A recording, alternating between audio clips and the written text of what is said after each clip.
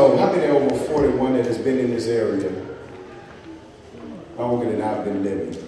Thank you, Xavier. So y'all know we've come a mighty, mighty, mighty, mighty long way. I remember, so I know you remember, Paul, when we didn't have restrooms. You remember that? What do we have? We had some an hour, hour back. We've come a long way, haven't we, Paul?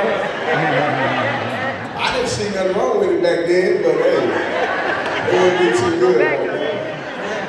But we've come a long way. Amen. Gravel roads, you can see people coming from two miles away.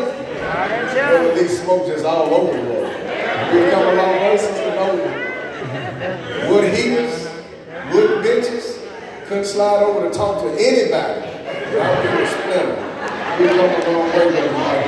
A long way. So we're going to look back at some history. I mean, Brother Timotheus, we appreciate his dedication. He wrote uh, two songs within the last three weeks.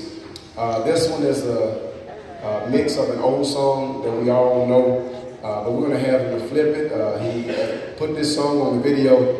See if you remember any of these memories from these pictures.